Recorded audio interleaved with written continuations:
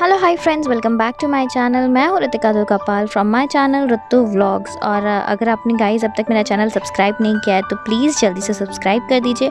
और बाजू में ये बेल आइकन होगा, उसको भी हिट कर दीजिए ताकि आप मेरे कोई भी लेटेस्ट अपडेट वीडियोज़ मिस ना करें।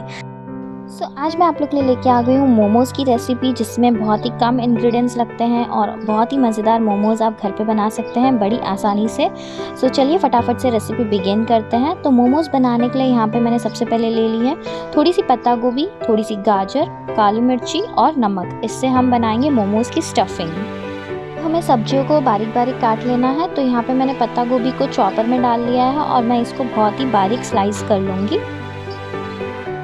इसमें और भी वेजिटेबल्स ऐड कर सकते हैं, जैसे कि कॉर्न हो गया, पनीर हो गया, आपको जो स्टफिंग पसंद है वो आप मिक्स कर सकते हैं। सो अभी पत्ता गोभी हमने देखी, कितनी बारीक बारीक चॉप कर ली है, इसको निकाल लेंगे। साथ ही में हम गाजर को जो है ग्रेट कर लेंगे। तो जिससे क्या है, इसकी जो स्टफिंग है बहुत ही सॉफ्ट बनेगी और खाने में बहुत अच्छी लगेगी। तो बस हमारी स्टफिंग चॉप करके रेडी हो गई है। आप चाहे तो इसमें जो चाहे वो स्टफिंग और ऐड ऑन कर सकते हैं। अब हम यहाँ पे कढ़ाई को गर्म करने रख दिया है। उसमें करीब एक छोटी चम्मच जितना हम तेल डाल देंगे। और जो हमने गाजर और गोभी को हमने कट किया है, चॉप किया है बारीक बारीक बस अभी उसको हम डाल लेंगे और इसको करीब दो मिनट के लिए हम सॉटे कर लेंगे हमें इसे पकाना नहीं है, बस तेल में थोड़ा सा सॉटे कर लेना है ताकि गाजर थोड़ी सी पक जाए। अब बस दो मिनट बाद में हम इसमें डाल देंगे ये काली मिर्ची कुटे हुई। अगर आपके पास में ब्लैक पेपर पाउडर है तो वो भी आप डाल सकते हैं। सो so, बस यहाँ पे मैंने बस थोड़ा सा ब्लैक पेपर पाउडर डाल दिया है। अब आप इसको मिक्स कर लीजिए और बाद में इसमें नमक स्वाद अनुसार ऐड ऑन कर दीजिए। और बस इसको मिक्स करके हम दो मिनट के लिए और पका लेंगे और फिर स्टफिंग को ठंडा होने के लिए साइड में रख देंगे।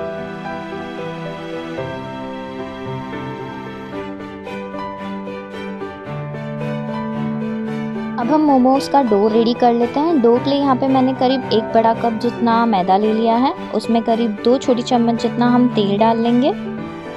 साथ ही में इसमें आप डाल दीजिए नमक स्वाद अनुसार, यानी यहाँ पे मैंने आधी छोटी चम्मच जितना नमक डाल दिया है। अब इसका हम सॉफ्ट डो लगा के तैयार कर लेंगे। सो आप देख सकते हैं, बस इसका आटा लगा के तैयार हो गया। इसका आटा जो है वो समोसे की तरह ही लगता है ना ही ज़्यादा कड़क, ना ही ज़्यादा सॉफ्ट। नॉर्मल हम जिस तरह से आटा लगाते हैं, उसी तरह से आपको आटा लगा लेना है। अब इसको बस हम ऐसे रोल कर लेंगे, थोड़ा सा ऑयल लगा के ऊपर। इसको हम 20 मिनट्स के लिए रेस्ट करने के लिए साइड में रख देंगे।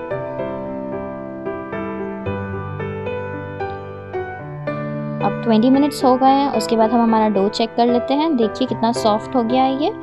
अब इसके हम छोटे छोटे राउंड्स कट कर लेंगे। बहुत ही छोटे छोटे राउंड्स कट करने हैं बिकॉज़ मोमोज बड़े बड़े नहीं होते हैं।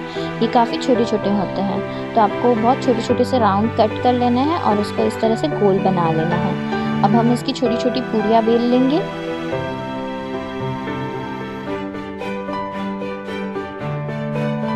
आप देख सकते हैं मैं किस तरह से इसको बेल रही हूँ। इसको ज़्यादा मोटा नहीं रखना है, ना ही ज़्यादा पतला करना है। बस हम नॉर्मल पूरी जैसे बेलते हैं, वैसे बेल लीजिए और उसके ऊपर आप थोड़ा सा ऑयल लगा लीजिए। ऑयल लगाने के बाद में बीच में हम थोड़ी सी स्टफिंग डाल लेंगे। और इसको आप नीचे रख के अगर फोल्ड करेंगे तो ज़्यादा अच्छे से फोल्ड होगी।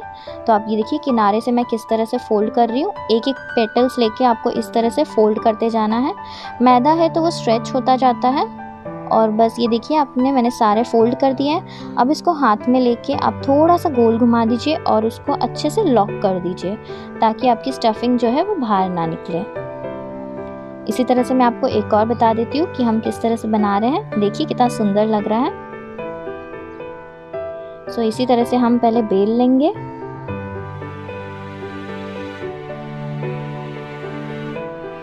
यहाँ पे मैं सूखा मैदा आटा लगा के बेल रही हूँ। आप अगर चाहें तो तेल लगा के भी इसको बेल सकते हैं। बस अब यहाँ पे मैंने ऊपर से थोड़ा सा ऑयल लगा लिया है और ये स्टफिंग डाल के हम इसको फोल्ड कर लेंगे। इसका मेन ये फोल्डिंग टेक्निक ही है। आपको बस इसी तरह से एक एक एक एक एक एक मिक्स करते जाना है और ये राउंड बन जाएगा। जब ये पूरा फोल्ड हो जाए तो हाथ में लेके ऊपर से राउंड कर दीजिए और पैक कर दीजिए। देखिए, हमारा मोमोज बन के तैयार है। तो इसी तरह से हम बाकी के भी मोमोज बना लेंगे। देखिए, मेरे सारे मोमोज़ बनकर तैयार हो गए हैं। अब इसको हम स्टीम करने के लिए रख देंगे। तो स्टीम करने के लिए यहाँ पे मैंने जो इडली वाला कुकर आता है वही यूज़ किया है। तो इडली वाले कुकर में हम करीब दो कप जितना पानी डाल देंगे। साथ ही में एक आधा कटे हुआ नींबू डाल देंगे, जिससे क्या है, बर्तन जो है वो ख़राब नहीं होता है। सो बस इसको हम बंद करके थोड़ी देर गर्म करने के लिए रख देंगे। दो से तीन मिनट ज़्यादा गर्म करने की ज़रूरत नहीं है तो ये बस मैंने गर्म करने रख दिया है कुकर को। अब जो हमारे इडली के स्टैंड है, उसमें हम ऑयल लगा लेंगे और इस तरह से एक एक मोमोज़ को प्लेस कर देंगे।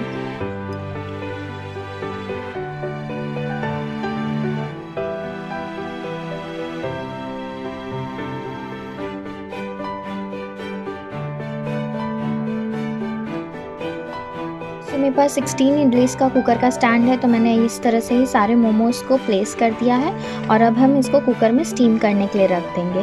करीब 20 मिनट हमें इसे पका लेना है बट 15 मिनट बाद आप इसको चेक कर लीजिए।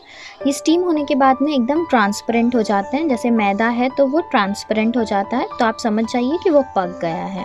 तो बस ये दो मोमोज़ बने थे तो मैंने इसको इसी तरह से ऊपर रख दिया, क्योंकि दो मोमोज़ के लिए वापस स्टीम करने क्या रखूँगी? सो so, बस 20 मिनट्स के बाद में हम इसको चेक कर लेंगे। सो so, कुछ इस तरह का कलर हो जाता है। 20 मिनट स्टीम होने के बाद में आप देखिए कि मैदा अच्छे से पक गया है क्या और बस इसको आप प्लेट में निकाल लीजिए। सो so, हमारे मज़ेदार मोमोज़ तैयार है। आप इसको एकदम स्पाइसी सेजवान चटनी के साथ में सर्व करें। बहुत ही टेस्टी लगता है। अगर आपने वो रेसिपी आपको देखनी है कि घर पे ही आप सेजवान चटनी कैसे बनाएँ तो लिंक मैं डिस्क्रिप्शन बॉक्स में दे दूँगी। आप चेक कर सकते हैं। अगर आपको हमारा वीडियो अच्छा लगा है तो इस वीडियो को लाइक कीजिए, वीडियो को शेयर कीजिए, इस चैनल को सब्सक्राइब कीजिए